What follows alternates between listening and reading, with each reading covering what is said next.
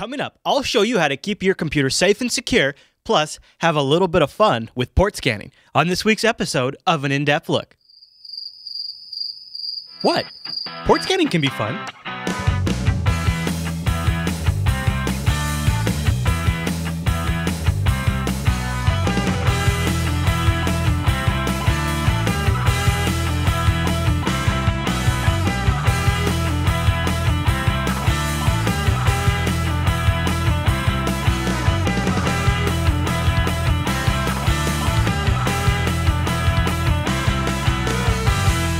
Right, Internet, you know what ports are, right? I'm not talking about the kind for boats, I'm talking about the kind for networking communications.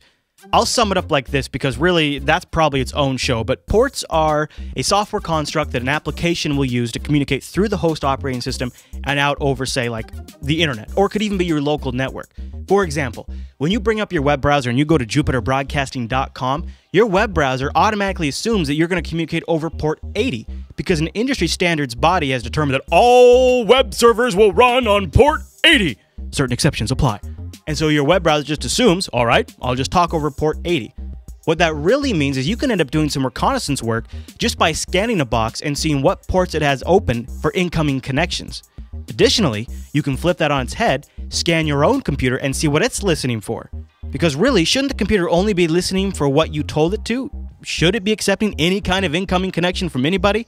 That's why it's just good computer hygiene to audit your own computer from time to time. All right, but how do you do that exactly? Well, there's a great tool out there. In fact, it's such an awesome tool that Eagle Eye viewers might remember Trinity from the original Matrix movie actually used this to scan, uh, I think it was a power plant server, and figure out what ports were open and then hack in through SSH.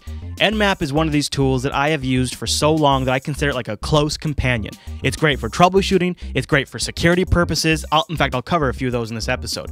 But Nmap is a free and open source tool that scans remote systems or large ranges of remote systems over the network and tells you all kinds of information about them. Now, why don't we start with just giving an audit of your own local computer? So I'll show you how to do that. Your first step is to fire up Nmap. So Windows users, you launch the GUI, Mac and Linux users, you go to the command line. And it's insanely easy to scan your own machine. Just type in nmap space localhost. And there's some additional flags and stuff that I'll include in the show notes that you can include.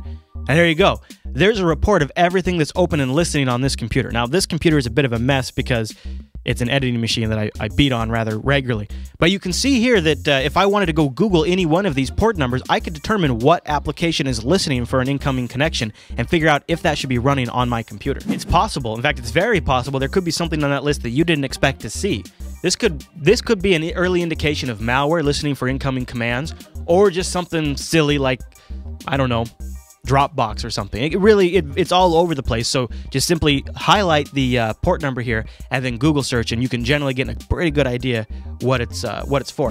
All right, that's simple enough. Let's kick things up a notch. Let's say you want to do an audit of all of the computers on your network. Maybe you're got a rogue neighbor stealing your Wi-Fi, or uh, you just kind of want to take stock of where things are at. Nmap can scan your entire network and tell you which IP addresses are in use. That's a pretty simple command. And again, all of these commands too are in the show notes, so you don't have to uh, click pause every few seconds to get them. But just type in nmap dash lowercase s uppercase p, and then your IP range. In my case, it's 10.1.10, and then dot star for everything after that, and let it go. It'll come back with a report of every single IP address that it found. Okay, so let's say on this list of addresses that Nmap has returned, there's a machine on there that you're not so positive is yours. Well, Nmap will help you figure this out by doing a few different things, along with the port scanning, because you can generally just kind of get an idea of what computer it is based on what ports it has open. Like, do all your computers have port 80, a web server? No, probably just your Linksys box or something like that. Nmap can also do OS fingerprinting and get you details about the operating system and, in some cases, even the hardware class. Check it out. Step one is to fire up old Nmap again, I'll include the command line in the show notes because it's kind of a, a, mouthful to say out loud. And once you kick this off, give it a minute. When I ran the scan, it took a couple of minutes, so just sit back, go get yourself a cup of coffee, and then it returns all the information. And I can see here that this is a Windows box. Well, I don't have any Windows computers on my home network right now, so that must be that pesky neighbor. So I'll go knock on his door and say, Look, buddy, I just printed this out, and I know this IP address with this operating system is yours. Stay off my Wi Fi. At which point the neighbor will reply, No problem. Why don't you put a password on it? And he'd be right. One of the things Nmap can't do, and this is really handy like if you're trying to let in a website to your say you have like a server at home that you've tried to open up a port on your router and it's not getting through. Nmap can't scan to see what is allowed in from the internet into your house because you're using it on your local network. You need to use a tool outside of your network to do that kind of audit, and I've got two I'm going to recommend. First up is good old Steve Gibson's GRC Shields Up. This tool is primarily built just to scan the system you're coming from and give you a report on all of the little things that your uh, router might be letting in or little data leaks that it might have. Another tool is Nmap Online. Now, I'm not positive this is affiliated with the Nmap project, but the thing about this tool is it lets you scan any IP address you want. You guys would never use that for nefarious purposes, would you?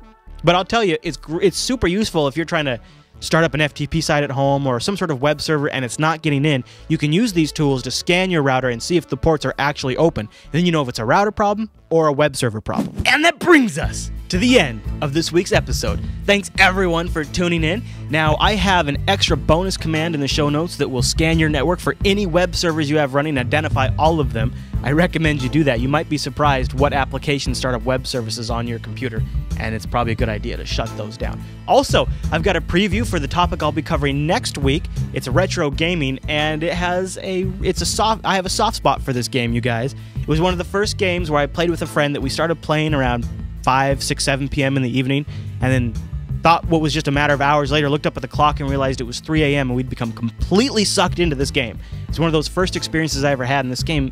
It's got to be over 10 years old now, so we're going to have a special retro gaming edition of an in depth look next week. I also want to hear your suggestions. Hit me up on any social network that you prefer to lurk. Just go over to bit.ly slash Chris Fisher. I'll have links to those. Also, you can send your suggestions you can send your suggestions in over email. Just email me, Chris at JupiterBroadcasting.com. Also, be sure to go over to Jupiter Broadcasting and get links so you can uh, subscribe to the RSS feed and just get this dang show weekly when I release it. Then you don't even have to think about it. It's just auto magical. It's like boom, there's an in-depth look.